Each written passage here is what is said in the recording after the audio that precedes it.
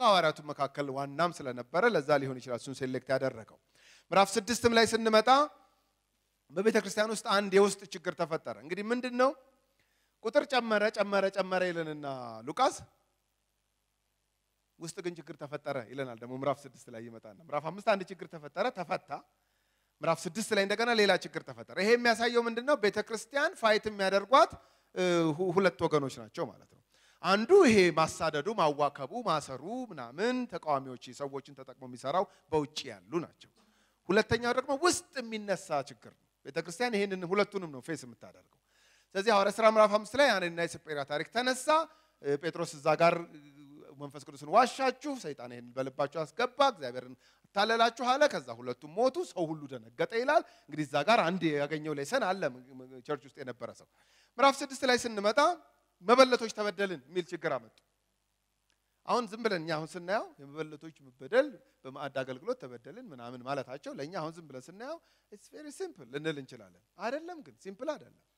ለምንድን ነው የማይሆነው ካላችሁ መበለቶችን መበለቶች ሲበደሉ እግዚአብሔር ተነስቶ ያውቃል መጽሐፍ ቅዱስ ላይ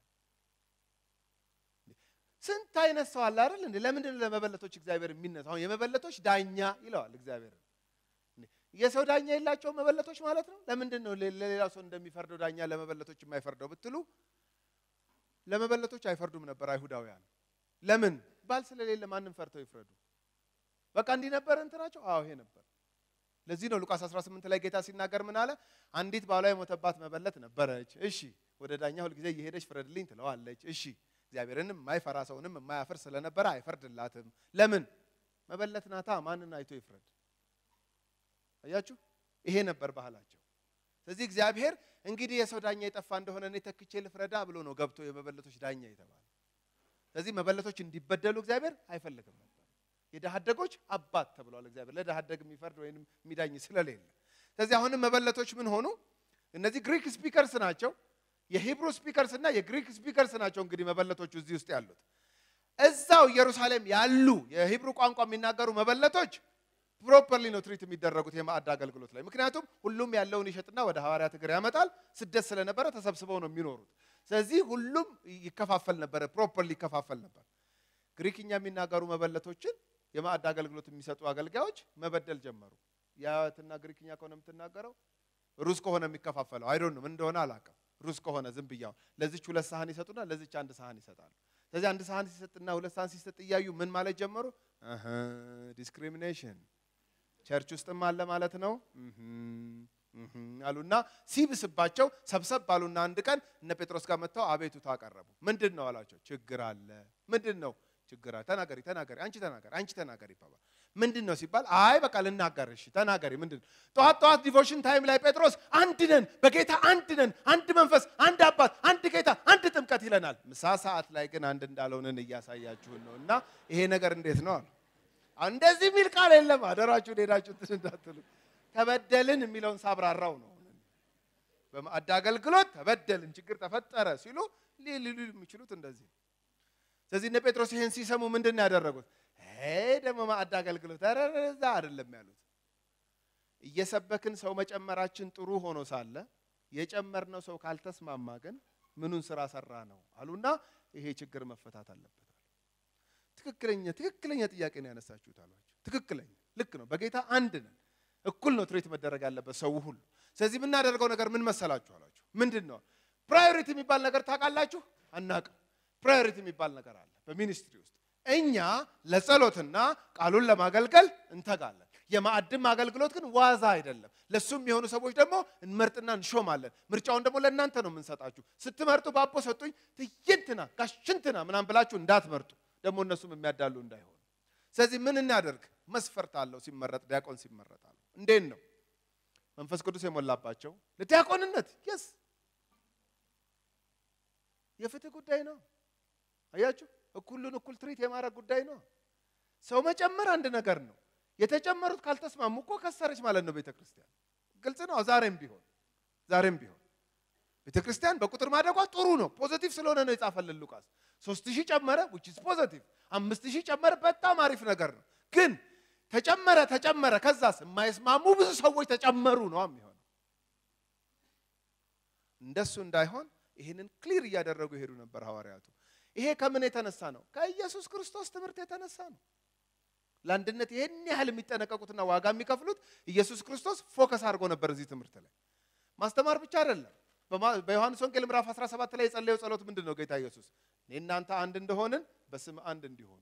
አንድነት is very important በ church ውስጥ። ስለምንም እኮ አልጸለየላቸውም ለደቀ መዛሙርት፣ ስለ አንድ ነገር ነው የጸለየው።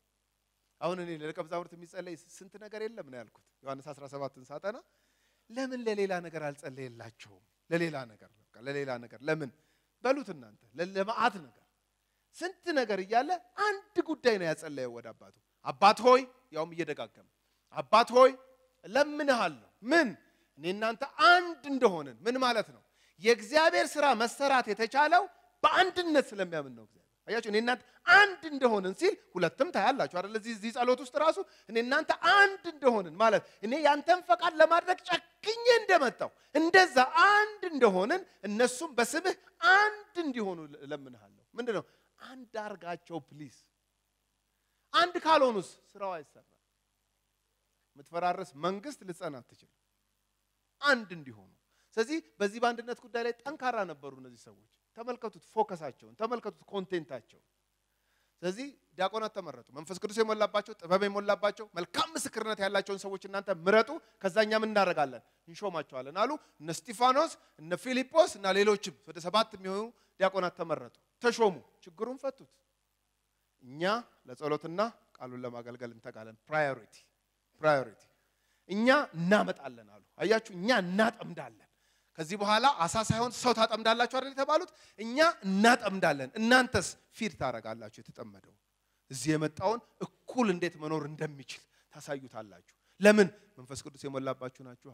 ለምን? ጥበብ የሞላባችሁ ናችኋ። እንዴት ሰው treat እንደሚደረግ ታውቃላችሁ። ሰው value እንዴት እንደሚሰጠው ታውቃላችሁ። እናንተ መልካም ምስክርነት ያላችሁ ናችኋ። እናንተ እሱን ስሩት፣ እኛ ደግሞ እዚህ ላይ focus እናደርጋለን ብለው ሐዋርያ ሥራ ምዕራፍ ስድስት ይሄን ታያላችሁ። ሰባትስ ከዲያቆናቱ መካከል እስጢፋኖስ ነው አንዱ። የሚገርም ሰባኪ ሆኖ ታዩታላችሁ። የሚገርም ምዕራፍ ስድስት ላይ ነው የጀመረው ስብከቱን ራሱ ይናገርበት የነበረውን ጥበብ መቋቋም እስከሚያቅታቸው ድረስ ሰሚዎቹ በቃ አቃታቸው። በቃ በእግዚአብሔር ኃይል ተሞልቶ የሚናገረው clear የሆነ ወንጌል ነው የሚናገረው።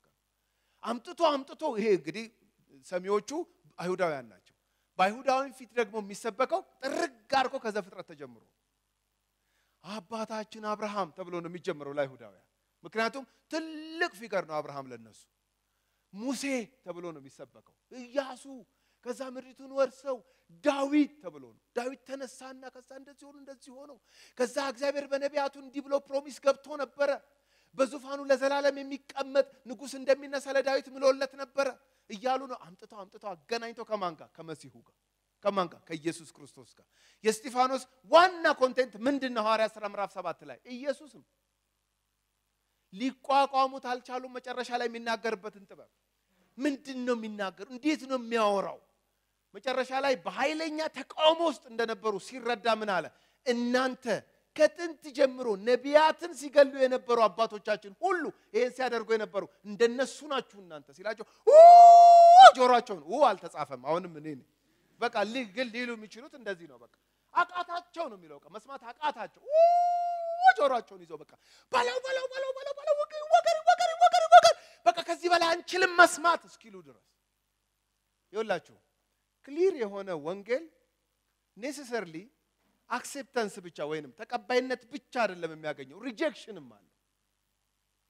የእውነተኛው ወንጌል የእውነተኛው ወንጌል no ም ሊያስብል ይችላል ሰዎችን። በቃ በቃ አንሰማም አሉ። በቃ አንሰማም። ከዛስ ምን አደረጉ? ወገሩት ይላል።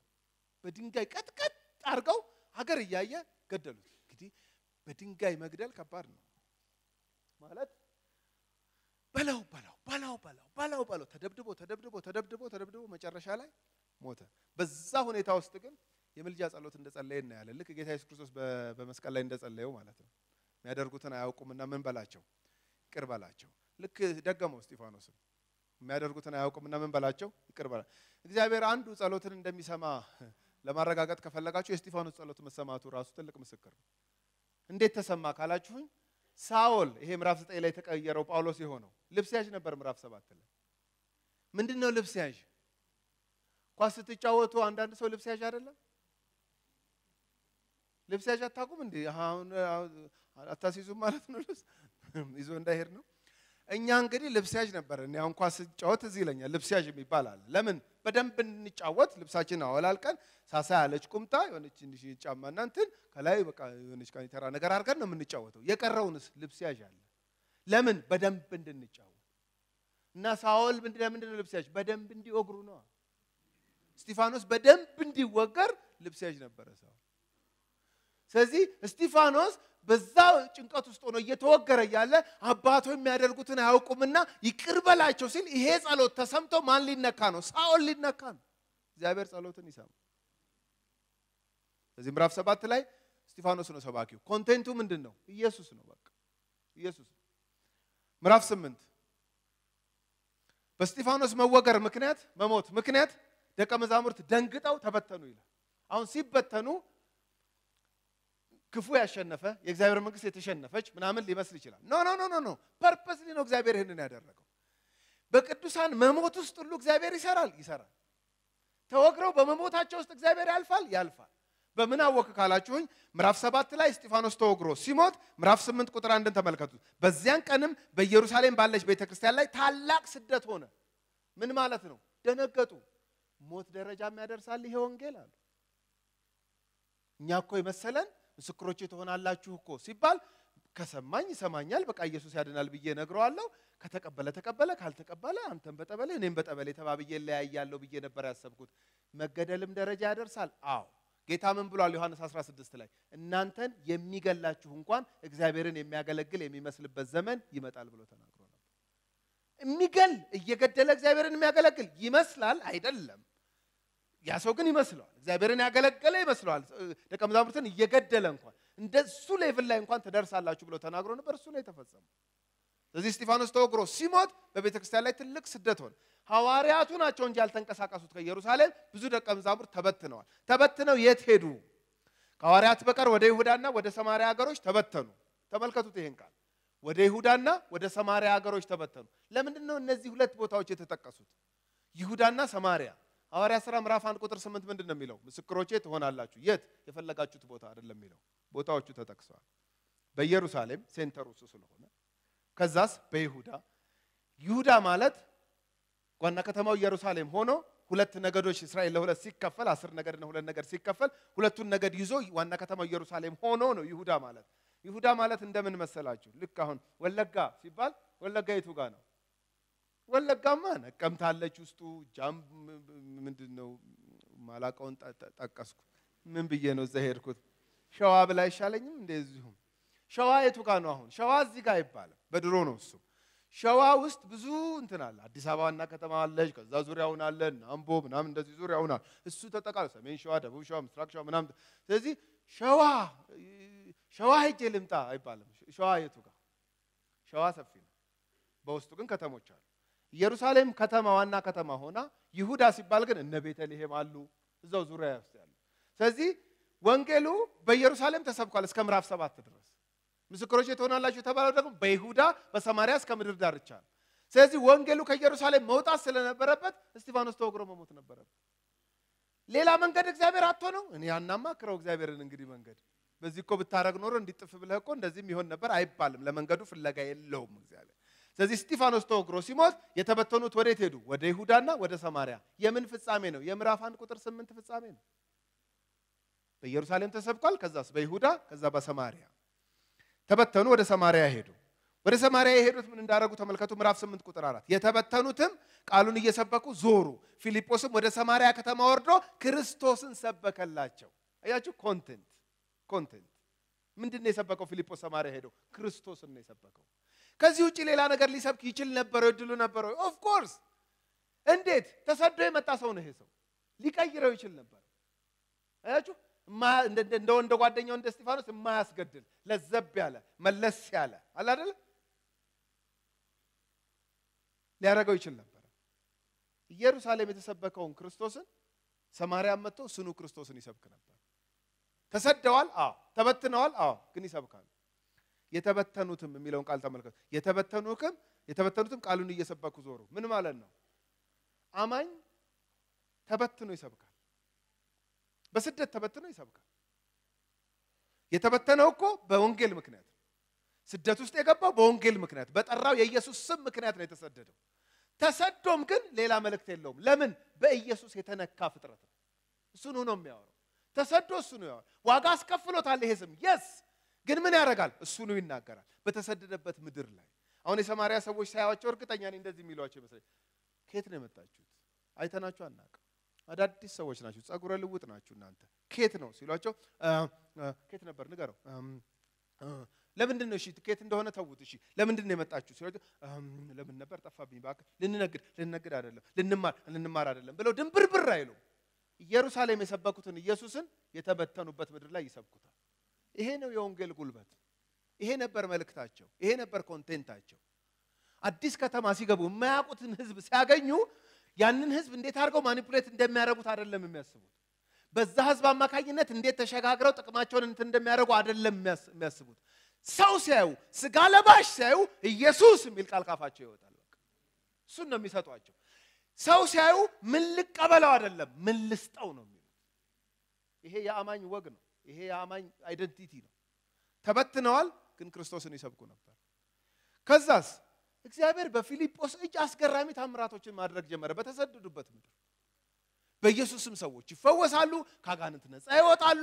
አስደናቂ ነገር ሆነ። ሰማርያ ከተማ ውስጥ እነ ጴጥሮስ የት ናቸው? ኢየሩሳሌም ናቸው። እነ ዮሐንስ እነ ያዕቆብ ኢየሩሳሌም ናቸው። ይሄ ከዲያቆናት አንዱ የነበረው ሰው ነው ፊልጶስ። እንግዲህ ይሄ ምን ያሳያል? ሐዋርያም ይሁን ዲያቆንም ይሁን ኢየሱስን መስበክን ይችላል። ውስብስብ አይደለም። የወንጌል መልእክት ውስብስብ አይደለም። የቀመሰውን ያየውን እውነት መናገር ይችላል። የለበሱት ኃይል ለዲያቆንነት ሲመረጡ መስፈርቱ ምንድን ነበር? በመንፈስ ቅዱስ የተሞሉ አይደለ? መንፈስ ቅዱስ የሞላባቸው አይደለ? ይሄ በመንፈስ ቅዱስ የተሞላ ዲያቆን የነበረው ፊልጶስ በእጁ ታምራት ያደርግ ነበር። እግዚአብሔር ሰዎች ይፈወሱ ነበር፣ ከአጋንንት ነፃ ይወጡ ነበር። ሰማርያ ከተማ ድብልቅልቋ ወጣ። ምስክሮቼ ትሆናላችሁ። የት? በኢየሩሳሌም፣ በይሁዳ፣ በሰማርያ። የሚቀረው እንግዲህ እስከ ምድር ዳርቻ እስከ ምድር ዳርቻ የሚለው ለጳውሎስ ተዘጋጅቶለታል። እሱ ለእሱ ተዘጋጅቶለታል። እሱ ገና ተጸልዮለት ልብስ ያዥ ነው፣ ገና ሊለወጥ ነው። እሱ ለእሱ ነው። የእሱ ገና እሱ ከማሙሻ ጋር ታዩታላችሁ። እሱ አሁን ፊልጶስ አካባቢ ነው እንግዲህ ማሳል ፊልጶስ ሰማርያ ገብቶ እግዚአብሔር በእጁ ታምር እያደረገ ሰዎች ነፃ እየወጡ ከአጋንንት ስርዓት እየወጡ እያሉ እዛ ከተማ ልክ እንደ እግዚአብሔር የሚታይ አንድ ጠንቋይ ነበረ፣ ሲሞን የሚባል ሰው እያስገረመ የኖረ ስንት ዓመት። በነገራችን ላይ እኔ እሱ ቃል ይገርመኛል። ሰው የሚያስገርም ነበር ይላል። ጠንቋይ ዛሬም ከዚህ ውጭ እንትን የለው ማስገረም ብቻ ዝም ብሎ በቃ ማስገረም። ሰው አይጠቅም፣ ሰው የሆነ ነገር የዘላለም ሕይወት የሚያገኝበት እንትን ዝም ብሎ ማስገረም። እሱ አደገኛ ነው ማስባል ብቻ ነው በቃ። እግዚአብሔር ይገስጸው።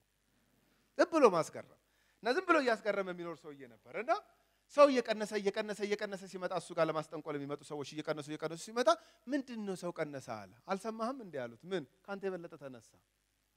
ማን የተነሳው? ስሙን አላውቀውም፣ ግን እዚህ ታች ነው፣ አዲስ ነው፣ ገና በቅርብ ነው የመጣው። ግን ሰው እንደ ጉድ እየሄደ ነው። ኧረ እባካችሁ! አዎ። እንዴት?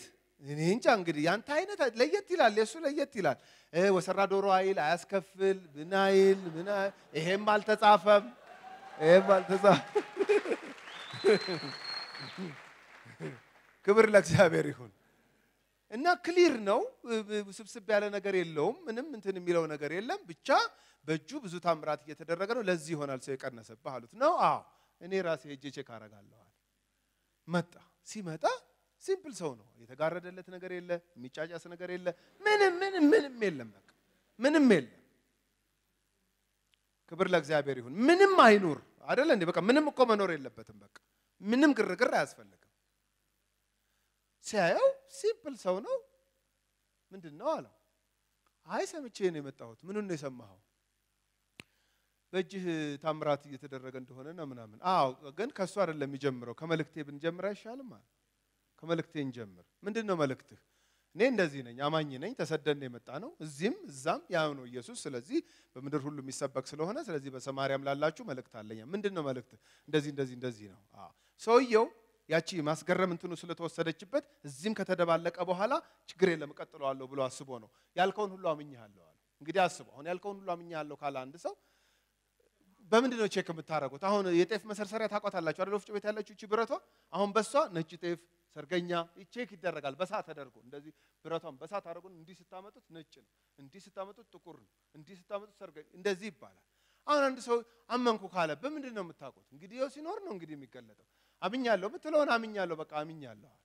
የዚህ ደግሞ እንዴት ፈጠነ አለና የሚገርም ነው። ለማንኛውም okay አምኛለሁ ካለ እንግዲህ ሌላ ምንም very subjective አምኛለሁ ካለ ምንድን ነው የማደርገው? አምናለሁ፣ አምኛለሁ፣ መጠመቅም እፈልጋለሁ። ኧረ እባክህ ጥምቀትም እንዳለ ሰምተሃል? ኧረ ሙሉውን ነው የተነገረኝ። እኔ እጠመቃለሁ አለ። ትጠመቃለህ? አዎ okay ተጠመቅ። ተጠመቀ ሁሉ ልክ ተጠምቆ እንደወጣ እነ ጴጥሮስ እነ ዮሐንስ ከኢየሩሳሌም ይህንን ነገር ሰምተው መጡ። ይሄ በስጢፋኖስ በፊልጶስ እጅ የሚደረገውን ታምርና የሚሰበከውን ወንጌል እስቲ check እናድርግ። የኢየሩሳሌም ወንጌል ነው የሚሰበከው ወይስ ሌላ ነው ብለው መጡና አገኙት። አንተ ባለፈው ለዲያቆንነት የተመረጥከው አይደለም እንዲ አሉት። አዎ ይገርማል። ዲያቆንም እንደዚህ ያደርጋል። እንግዲህ ቢሆን ነው ያኔ ስትመርጡኝ ትዝ ይላችኋል። መስፈርቱ ምን እንደነበረ ምንድን ነው? መንፈስ የሞላበት ኦ ልክ ነህ አልረሳኸውም። አዎ ሌላስ? ጥበብ የሞላበት ሌላስ? መልካም ምስክርነት ያለው እና ሶስቱንም አልፈን የተመረጥከው ሶስቱንም አልፌ ከዛ እንዴት ሆነ? ከዛ አንደኛው እስጢፋኖስ አንደኛው ነው የነበርኩ። እስጢፋኖስ ያው እንግዲህ እንደምታውቁት መስዋዕት ሆኗል እና አንተም የእሱ ምድል ቢገጥም እንትን ነው። አዎ ወንጌል እንደዛ ያስተማረችውን እንደዛ አይደለም። የሚገርም ሰው ነው። የሚገርም ነው። እና ምን ምን ሆነ? ይሄው እነዚህ ሰዎች አመኑ፣ እነዚህ ሰዎች ተጠመቁ፣ እነዚህ ሰዎች እንደዚህ ምናምን ሪፖርት አቀረበላቸው። የሚገርም ነው። ያው ነው check አደረጉ። በቃ ያው የኢየሩሳሌሙ ክርስቶስ ነው የሚሰበከው፣ የኢየሩሳሌሙ ወንጌል ነው፣ የኢየሩሳሌሙ ታምራት ነው፣ የኢየሩሳሌሙ ነው። ስለዚህ በጣም ጥሩ ነው። go ahead በጣም ጥሩ ነው። በርታ፣ ጥሩ ነው። ግን አንድ ነገር ይቀራል አላቸው። ምን? ብትጸልዩላቸው ደስ ይለኛል። መንፈስ ቅዱስ እንዲሞሉ ብትጸልዩላቸው ደስ ይለኛል ነው። okay፣ እንጸልይላቸው። እሺ ተጠሩ። እነዛ የቤተክርስቲያን አባላት ተሰበሰቡ፣ ተጸለየላቸው፣ በመንፈስ ቅዱስ ተሞሉ። ሁሉም ሐሴት አደረገ፣ ደስ አለው። ይሄን ማን ያያል? ያ አስገራሚ ጠንቋይ ሲሞን ልክ ሲያይ መጣበት። በቃ ይሄ ታዋቂነቱን ማስጠብቆ መቀጠል ምናምን መጣበት። ከዛ ምን ይላቸዋል? እነ ዮሐንስ ሳትሄዱ አንድ ጥያቄ አለኝ። ምን? ይሄ አሁን እናንተ ያደረጋችሁትን እኔም ባረገው ደስ ይለኛል። ማለት በምን መልኩ? ማለት እኔ ስጠነቁል ያስቀመጥኩት ብዙ ብር አለ አለ አምኛለሁ፣ ተጠምቄያለሁ፣ ግን ፍራንኩ እንደተቀመጠ ነዋል። እና ምን ልታረገው አሰብክ? ያው ለእናንተ ልስጣችሁና ይሄ እናንተ ገና እጃችሁን እንዲህ ስትጭኑበት ታታታታ የሚያስብለውን ነገር እናንተ በጅምላ እኔ በችርቻሮ ብንይዘው ምን ይሻላችኋል? ምን ይመስላችኋል? ብሎ ቁጭ አለ። counterfeit አያችሁ። ይው ሐዋርያት ሥራ መጽሐፍ ውስጥ በጣም የሚገርመኝ genuine ነገር እንዳለ ፌክ ደግሞ አለ። አሁን እናንተ በቅንነት ስትመለከቱት ይሄ የሲሞንን ጥያቄ እጄን የሚጭንበት ሰው መንፈስ ቅዱስ እንዲሞላ ፍራንክ ልስጣችሁ ብለው መጠየቅ እንደ ምናልባት ፍራንክ ልስጣችሁ ማለቱ ነው እንጂ ክፋቱ እጅ የሚጭንበት ሰው መንፈስ ቅዱስ ቢሞላ ምን ጥፋት አለው? ምን ክፋት አለው ልትሉ ትችላላችሁ። እናንተ የአሁን አማኞች እናንተ ጥሩዎች ስለሆናችሁ። ጴጥሮስ ግን እንደዚህ አይደለም ትሪት ያደረገው ሰውየው። እንግዲህ ጴጥሮስ ዲዘርን ያደረገውንና የተረዳውን ነገር አሁን እኛ አናውቅም። እሱ ግን በእርግጠኛነት ምን አለ? ሂድ አንተ ገንዘብህን ምን ጥፋ ነው ያለው። ለምን እንዲህ ሀርሽ ሆነበት? አይዶን ነው። ቅድም ሲጀምር ነግራችኋለሁ። እኔ የማላውቀው ብዙ ነገር አለ። አይዶን ነው። ለምን ሀርሽ ሆነበት? አይዶን ነው። እሱ ያውቃል። በቃ ራሱ ይጠየቅ። መንፈስ ቅዱስ እኔ እጄን ስጭንበት መንፈስ ቅዱስ ይሞላ ባለ አሁን ይሄ ክፉ ክፋት ነው ልትሉ ትችላላችሁ። ቢሆን ነው ቢሆን ነው ሰውየው የእግዚአብሔርን ነፃ ስጦታ መንፈስ ቅዱስ ስጦታ ማለት ነው። የእግዚአብሔርን ነፃ ስጦታ በገንዘብ በገንዘብ ልታገኝ ወይም በገንዘብ እንግዲህ ከነሱ በገንዘብ ተቀብሎ በነፃ የሚሰጥ ይመስላችኋል? ለመጣው ሰው እኔም በዚህ አላመጣሁትም እያለ ሊመልስ እኮ ትቀልዳለህ እንዴ ሂድ እያለ ሊመልስ እኮ አዳ ይሄ ነጋዴ ነው። እና ብር አለ ያስቀመጥኩት ልስጣችሁና እኔ እጄን የምጭንበት ሰው ታታታታታ ይበል አይበል አለው ጴጥሮስ። አይበል በገንዘብማ አይበል አንተም ገንዘብህም ሂድ ጥፋ። የእግዚአብሔርን ነፃ ስጦታ በገንዘብ ልታገኝ አስበሃልና ክፉ መርዝ መራራ መርዝ ውስጥ ያለው ሁሉ አለ። እንግዲህ ይሄን ያህል ዲዘርን ካደረገ እኔ አሁን ተነስቼ ጴጥሮስ ግን ልክ አይደለም በሽቆ ነው እንዴ ልል አልችልም። በሽቆ አይደለም discern አድርጎ አያችሁ፣ clear መሆን ነበረባት ቤተ ክርስቲያን። ከእንደዚህ አይነት አደናጋሪ ልምምዶች መጽዳት ነበረባት። እነሱ guard የሚያደርጉት ከውጭ የሚመጣውን ነገር ብቻ ውስጥም የሚነሳውን ነገር ከውስጥም የሚነሳውን ጤነኛ ያልሆነ ልምምድ ይሄ ክርስቶስን focus የማያደርግ የመስቀሉን ኃይል የማይገልጥ የእግዚአብሔርን የዘላለም እቅድ የማይገልጡ ነገሮችን ገለል ማድረግ ስለነበረባቸው ጴጥሮስ በጣም harsh ሆኗል። እዚህ ቦታ no አለው። በቃ ሂድ ሂድ፣ አንተም ገንዘብህም ጥፋ። እግዚአብሔርን ነጻ ስጦታ በገንዘብ ልታገኝ አስበሃልና ሂድ ጥፋ። መራራ ክፋት በልብህ ሞልቶ አያለሁኛል። መጨረሻ ላይ እስቲ ንስሐ ግቡልኝ አይነት ነገር አለ። እስቲ እንደው እግዚአብሔር ይቅር ካለኝ ምናምን ሂድ ራስህ ንስሐ ግባ። እኔ ለአንተ ንስሐ ምገባል። ከዛስ እንግዲህ አሁን በፊልጶስ ቦታ ሆናችሁ አስቡት። ሐዋርያቱ ከኢየሩሳሌም መጥተዋል። ቀኝ እጃቸውን ሰጥተውታል። ጓሄድ በጣም በጣም ጥሩ ነው ያለኸው አንተና በዚች ያለች ማህበር በጣም ጤነኛ መንገድ ውስጥ ነው ያላችሁት። ትክክለኛውን ክርስቶስን ነው የምትሰብኩት። ቀጥል፣ በርታ። ይሄም ደግሞ የማይሆን አሰራር ደግሞ ሊለክፍህ ነበረ መሀል ገብቶ እሱንም እግዚአብሔር አጽድቶልሃል። እግዚአብሔር ይመስገን። በርታ በርታ በርታ፣ ቻው ቻው ተባብለው ሌሎች ሀገሮችን ደግሞ ጎብኝተው ወደ ኢየሩሳሌም ሊመለሱ ሄዱ ይላል። አሁን ፊልጶስ በዚህ ሰዓት ምን የሚል ይመስላችኋል? ብራቮ እግዚአብሔር ይባረክ። በጣም ደስ የሚል ነው። ሐዋርያቱም ቀኝ እጃቸውን ሰጥተውኛል፣ መስክረውልኛል። እንዲህ አይነት ሪቫይቫል ውስጥ ነው ያለሁት። በቃ ጌታ ከኔ ጋር ነው። ይህም ጠንቋይ ተዋርዷል። ከዚህ በኋላ ድርሻ አይልም። እግዚአብሔር ይባረክ እያለ ባለበት ሰዓት የጌታ መልአክ መጥቶ ተነሳ ይላል። ከሪቫይቫል ውስጥ ምዕራፍ 8 ቁጥር 26 የጌታን መልአክ ፊልጶስ ተነስተህ በደቡብ በኩል ከኢየሩሳሌም ወደ ጋዛ ወደሚያወርደው ምድረ በዳ ወደሆነ መንገድ ሂድ አለው። ከሪቫይቫል ውስጥ ወደ ምድረ በዳ ከፈለገ እግዚአብሔር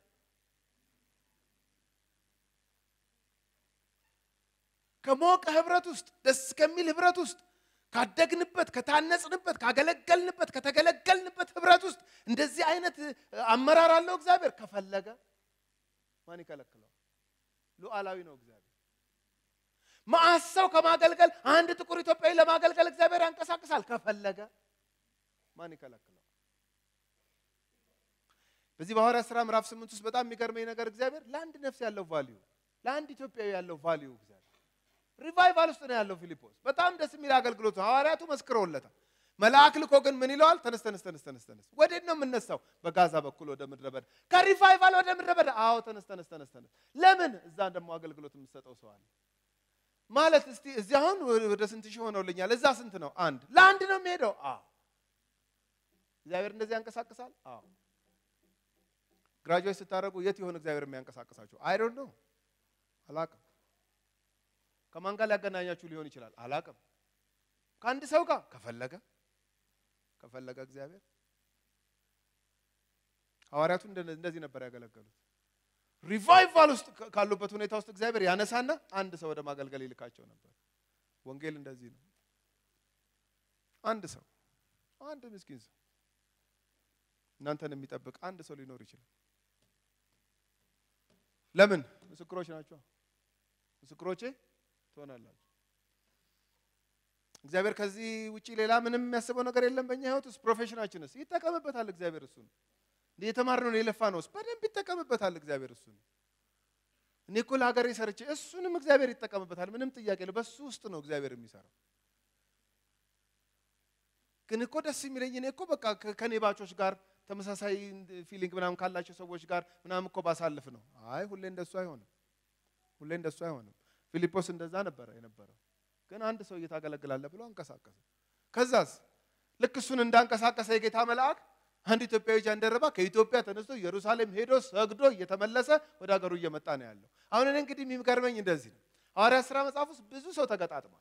ምዕራፍ ሁለት ላይ ጴጥሮስና እነዛ ለበዓለ ሀምሳ የመጡት ሰዎች ምዕራፍ ሶስት ላይ ይሄ ቤተ መቅደስ በራፍ ላይ ሰውነቱ የማይሰራለት ሰውዬና ጴጥሮስና ዮሐንስ ምዕራፍ ስድስት ላይ ምዕራፍ ሰባት ላይ ምዕራፍ ስምንት እያላችሁ ስትመጡ እንደዚህ ሰዎችን እነ ቆርኔሌዎስንና እነ ጴጥሮስን ምናምን እንደዚህ ብቻ ያገናኛል።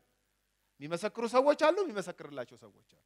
የሚመሰክር አለ፣ ያገናኛቸዋል። እንደዚህ አሁን እዚህ ጋር እግዚአብሔር ከሰማይ ሲመለከተው ይሄ ኢትዮጵያዊ ጃንደረባ ይደክማል፣ እየተመላለሰ እየመጣ ይሄዳል፣ እየመጣ ይሄዳል፣ ሰግዶ ይመለሳል። እንግዲህ ያኔ እስራኤልና ኢትዮጵያ ግንኙነት ነበራቸው ብለን እናስባለን። የአይሁድን እምነት የመከተል ወይ የአይሁድን አምላክ የማምለክ አይነት ነገር ነበራት ማለት ነው ኢትዮጵያ ሊሆን ይችላል። ብቻ እየሄደ ይመላለሳል።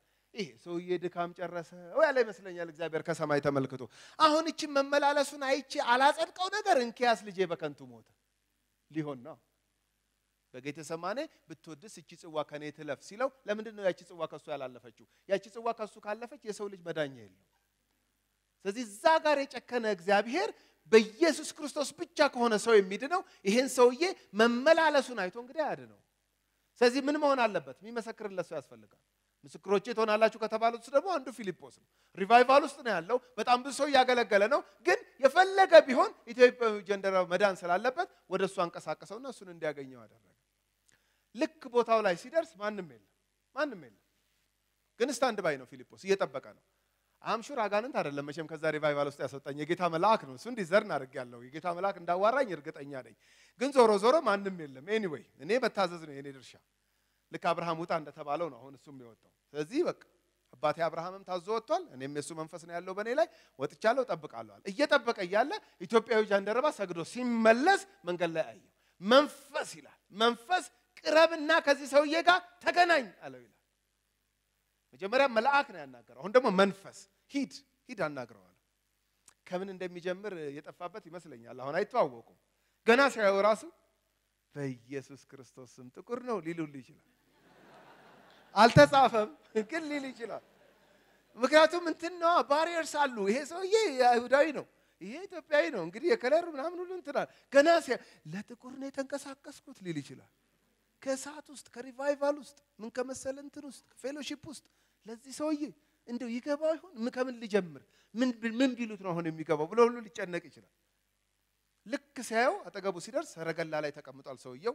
በዛን ሰዓት ሰውየው በሰረገላ ተቀምጦ ያው means of transportation ኑ plane ምናምን የለም እንግዲህ ሰረገላም እኮ ያለው ነው። በጣም እኮ ሀብታም ነው ይሄንን የሚያደርገው ባለስልጣን ነው የሚያደርገው። ሌላው በእግሩ ነው የሚኳትነው። ስለዚህ አሁን ይሄ ሰውዬ በሰረገላ ሲያየው ምን ሊል ይችላል? ባለ ሰረገላም ነው ሊል ይችላል።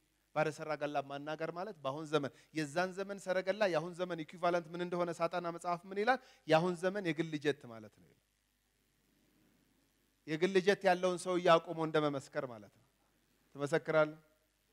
የግል ጀት የግል ጀት ቆይ አንዴ አንዴ አንዴ አውርዳ አቁማትና ጀቷን እንደማለት ነው። It's very tough አያችሁ፣ ምስክሮቼ ትሆናላችሁ ሲል የግል ጀት ላለው ሰውም እንደማለት ነው። እንግዲህ ስለዚህ በሰረገላ ነው የሚመጣው ሰውየው እና ገና እሱን ሲያይ shock ሊያደርግ ይችላል።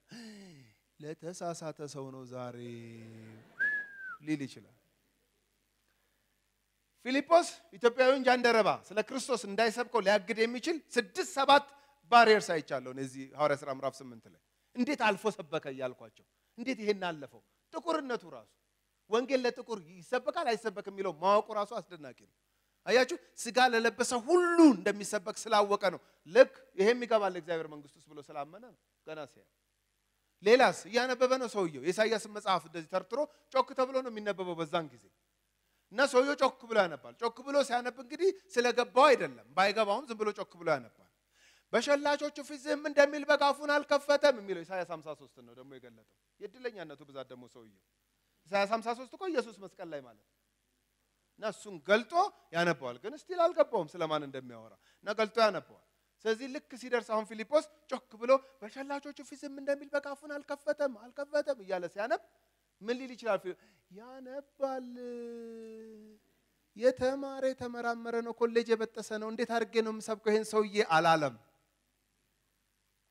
የተማረ የተመራመረም ይሰበካል። ክብር ለእግዚአብሔር ይሁን።